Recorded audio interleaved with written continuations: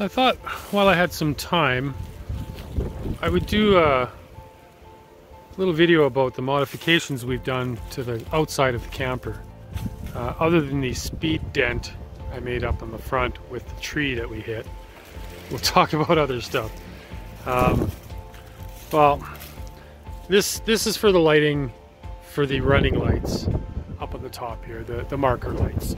This is going to get tied in to the back under here. You can see the plug there. So we put the plug in there.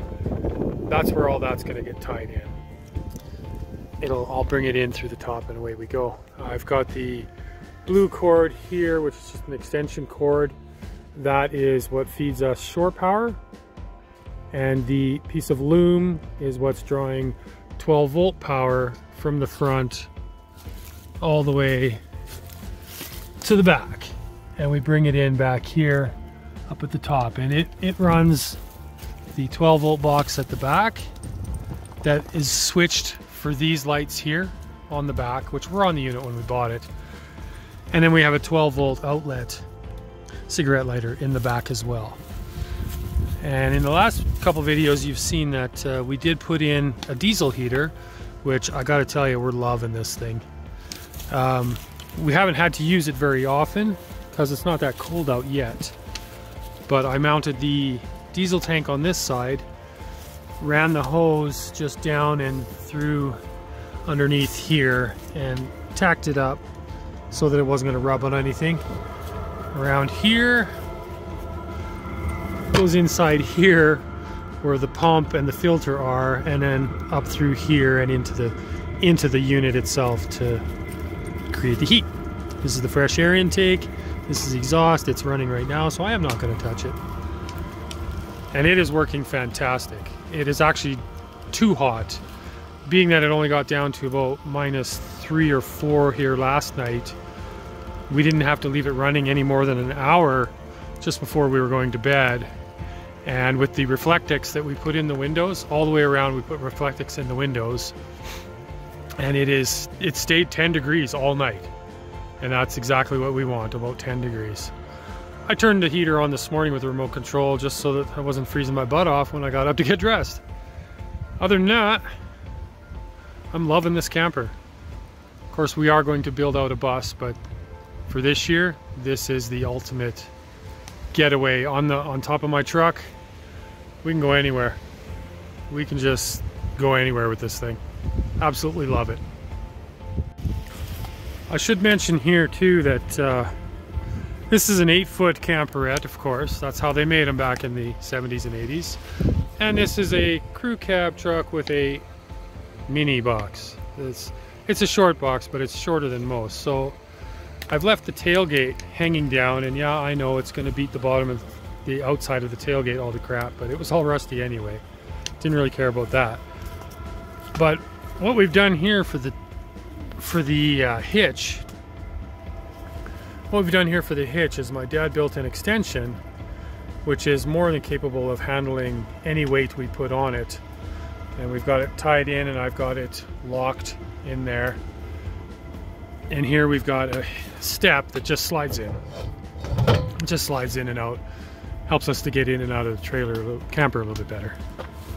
Over here no, you can't see it. It's buried.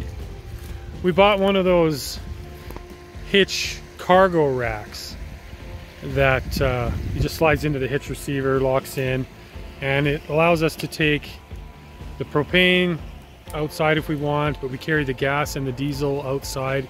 We carry gas for the truck and for the generator, diesel for the heater, obviously. We can throw a couple stacks of wood in there if we have to buy some. And on this end, I put the fire pit. And that way we don't have to have anything inside. So of course when we get home, this stuff all has to come out and go in the yard. When we bought the camper, camperette, this was the bottom. So this was a, a, a floor. They added a new floor and there's a two by twos around the inside that they used to attach it. Uh, what I did afterward was built a two by two frame here and this is insulated. I put uh, inch and a half foam board inside there, insulation, 3 eighths plywood, and then more 2 by 2s The 2 by 2s are to keep it up above off of the bed of the truck so that the water will run out and the boards won't rot. So I put that insulation in there to insulate the floor. And then over in here, where I did, I put, uh, this is just regular lattice, uh, laths, spruce laths, just regular board. It's very small, 3 eighths or something like that. This is 3 eighths plywood. I think the bottom was half inch plywood.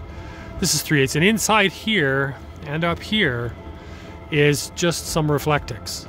Two layers of Reflectix, which really helps to insulate the camper. And we're hoping that over the course of the winter here, we can see just how well that has done for us. But we're pretty sure it's going to really help keep the heat in. So I'm to give you a tour of our camperette. It's on the back of the truck.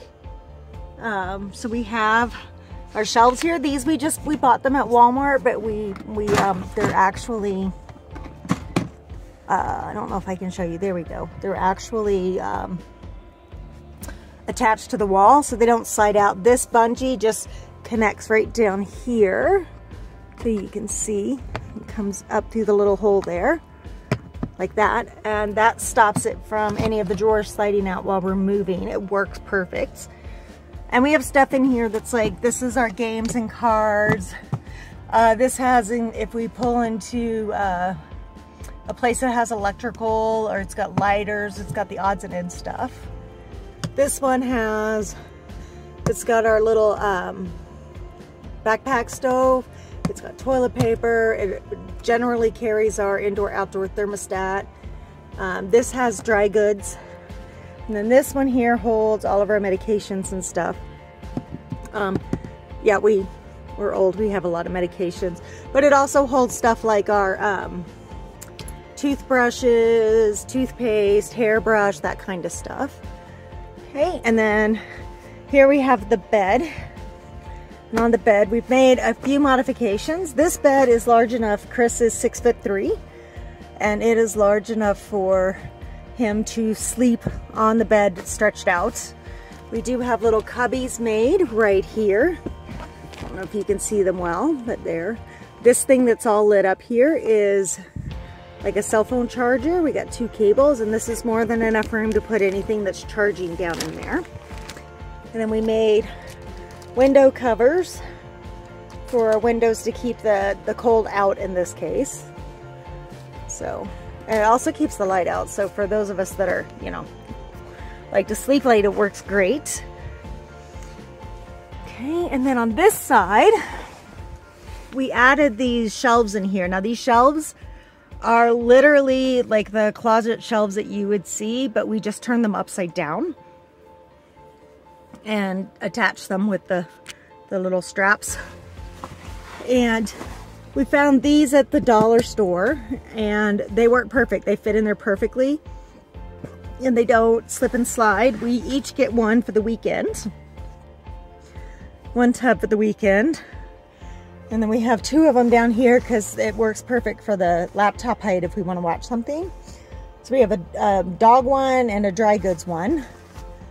Um, those go up here at the top where we have this stuff right now. Where we have that stuff. Um, it goes up there when we're driving and that lip is more than enough to hold anything in place. And then we have some towels over there. And we have our newest addition is this heater. This heater is working good, guys. I mean, like, woof, it is pumping out the heat. Um, I'm going to have to take my base layer off here shortly. And it's pumping out the heat. There's no smell. There is a, you can hear the blower going, which is not a problem. And sometimes you can hear the pump going, but it's a really dull, low, um, so it, it actually helped me go to sleep. I just passed out last night poof, gone. And then we put the carpet on this. It goes all the way back. Um, the carpet around these, we put them on both of them. It actually does help with the insulation. It also helps keeping things from flying off of there. So, and the carpet there does actually help to keep things from sliding off or anything while we're driving. And we have two bungee cords there that we actually use. We attach it to the wall and then down to, I don't know if you can see those little eye hooks right there. Those eye hooks, um, we use it for the bungee cord and it holds in our chairs, camper chairs our 10 by 10, that kind of stuff. Works great, holds it in place. We don't ever have to worry about it. And then we have, so this bed is a bit of a, an amazing thing. So Chris and I can sleep on this bed just fine um, with no problem. But this bed will also turn into a sofa because you can take this board here and you just bring it down and move it to the back and you flip the back one up and it becomes the back of the sofa. And what that does is it allows us to sit up straight in here if uh, we get caught in the rain and we can't sit outside or, uh, you know, whatever. Because Chris can definitely not sit up on the bed straight. And I can do it in certain places, but not all of them. We do have that little handy shelf up there that is kind of a catch-all. We have lanterns up there. We have baby wipes, stuff like that. Uh, Chris puts his glasses up there at night. Sometimes my glasses go up there at night. Sometimes they don't because I'm known for losing everything. But yep, that's our camper in a nutshell. And that little fob thing right there, that thing is our remote for the heater.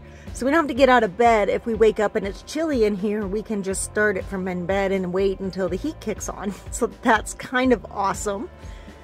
Anyway, that's our camper. Have a good night. So this is the one of the eye bolts that we use to um, attach the bungees to to hold all of our chairs and 10 by 10 and all that stuff. There's the other one. And then they attach to this eye bolt here and to this eye bolt here.